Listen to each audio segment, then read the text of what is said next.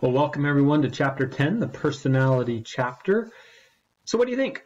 Your personalities change over the course of a life, lifetime, or do they stay pretty consistent? That's going to be one of the big questions in the psychology world. And one of the main theories is that personality does indeed come from stable patterns, and there's different terms for those patterns, as you can see up on the screen. And we're going to deal with one of those particular trait theories called the Big Five personality trait theory, but that's going to come later on.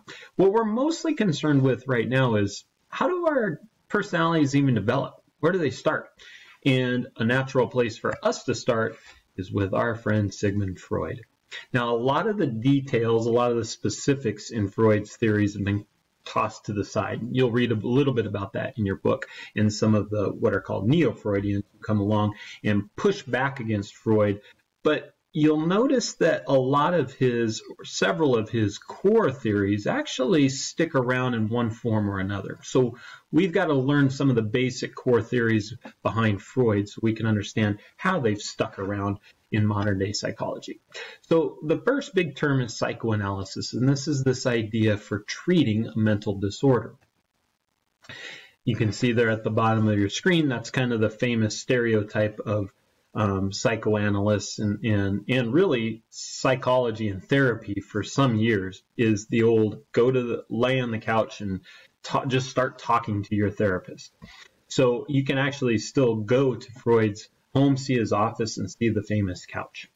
So you would lay on the couch, and what you would do is what's called free association. You just started talking. Whatever came to your mind, you just talk, talk, talk, talk. And what the job of the psychoanalyst was, in Freud's opinion, was to pick out kernels from what you were saying to see if there was some sort of deeper meaning in there. If you remember from the states of consciousness chapter, Freud came up just briefly, specifically in talking about dreams. And we talked about latent content and manifest content. And that latent contest, content was what's kind of buried beneath the surface. That's what Freud was looking for with, with the free association and with dreams. All right.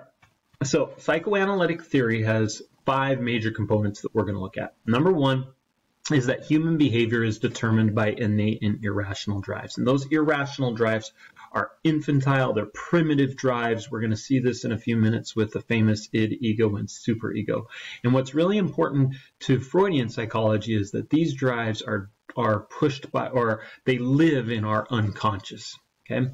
And generally, those drives aren't going to cause us to behave in proper fashion. Okay? Now, attempts to bring those drives into awareness, into conscious awareness, are going to meet some sort of resistance. Why? Because our consciousness might not want to deal with those drives. They might be too dark. They might be too primitive. They're those kinds of things within ourselves that cause disturbance, cause tension. And so for Freud, what he believed was that we would have these defense mechanisms that would pop up in order for us not to have to deal with some of those in, um, those primitive drives. Mr. Woodard will talk about defense mechanisms on the next video. For Freud, one of the key parts of our lifetime was early childhood. What happened to us in early childhood for Freud really determined our personalities for the rest of our lives. Now, Modern day psychology is going to say, yeah, what happens to us in early childhood is extremely important. However, there's more leeway in modern psychology for growing out of certain issues, certain problems, being able to overcome, being able to work with certain things than Freud gave us credit for. Conflicts between the conscious and the unconscious can result in those mental disturbances. So when Freud was working with somebody that's had, let's say, high anxiety or real uh, uh, a depressed state, he started to look at where is the conscious self and the unconscious self, kind of battling it out. And bringing those drives to consciousness for Freud is what liberated us from that tension might liberate us from anxieties, depressions, other types of disorders. So, let's move my picture up here. So bringing it into consciousness is so vital for Freud, and that's why dreams were so important to Freud. In fact, he wrote a very famous book called Interpretation of Dreams. And if those dreams were somehow the subconscious, the unconscious kind of coming into consciousness in our in our sleep state, If we could figure out what those dreams meant, we could better bring them into our conscious awareness and deal with those issues and hopefully liberate us from some of the tension that's deep within us. All right, so what we get, first of all, the unconscious, and we know unconscious, but for Freud, look specifically there at the screen. The unconscious is important because that's where all those repressed impulses, drives, conflicts, that's where all that stuff really lives, in that unconscious self. So you've got to bring it out into consciousness in order to deal with it. So there's the famous iceberg again. Mr. Woodard had shown you the iceberg in a previous chapter, but in Freud's model, you'll see here we have the id, the ego, and the superego. And the id is going to house all those drives. That's the unconscious level. The superego you can see here kind of spans all three, the unconscious, the preconscious, and the conscious, conscious level. And then the ego is the conscious level. This is going to use reason and rationality, and I'll explain that here in a second. So that's, again, the famous iceberg model of id, ego, and superego and how they correlate to the unconscious, preconscious, and conscious level. So with the id, ego, and superego, the id is going to be, again, those primitive drives.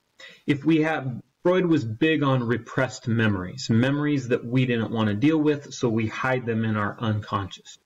So what the id is, is the housing place for all of those things.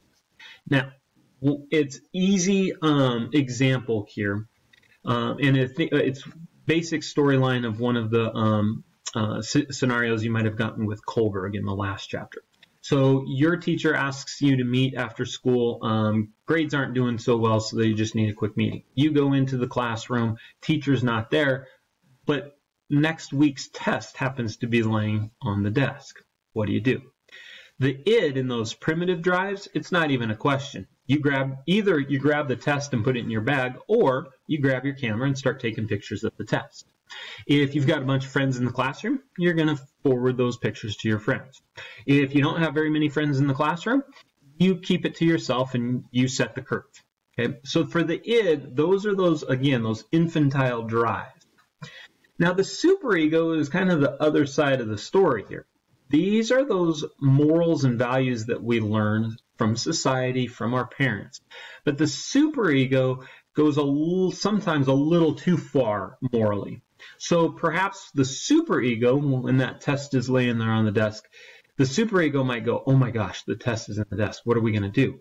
Well, let's see. First of all, let's make sure the test gets in the desk. And then I've got to go find the teacher. And if I can't find the teacher, I'm going to find a different teacher and let them know what happened. Maybe I should go to the principal and let them know what's happened. The superego is like morals on steroids. It's not that the superego is bad, but sometimes the superego can go too far as far as the moral life is concerned. There, the superego is just fully concerned with doing the right thing, which sounds good, but again, in our simple little example, can go a little too far. And that's where the ego comes in. Remember, the ego is in that conscious level. And that's that rational part of the personality. This is the mediator between the id and the superego.